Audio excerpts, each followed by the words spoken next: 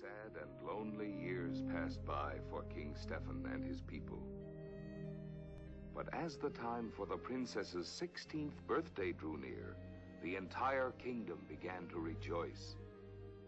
For everyone knew that as long as Maleficent's domain, the Forbidden Mountains, thundered with her wrath and frustration, her evil prophecy had not yet been fulfilled.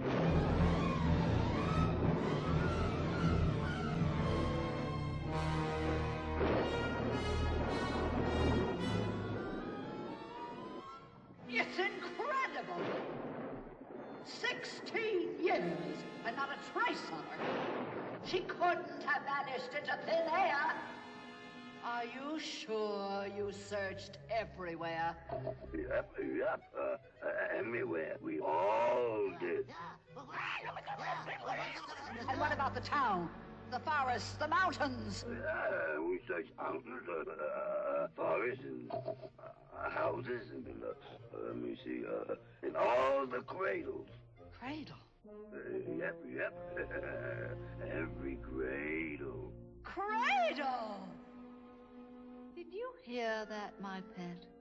All these years they've been looking for a baby. Oh! Oh!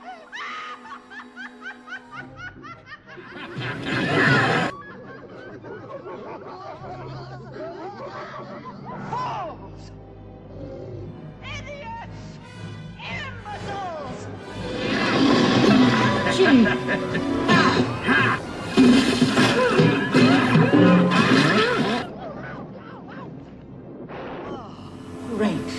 Now I'm the bad guy.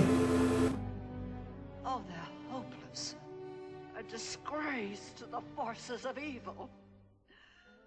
Ah, My pet, you are my last hope. Circle far and wide search for a maid of sixteen, with hair of sunshine gold, and lips red as the rose. Go.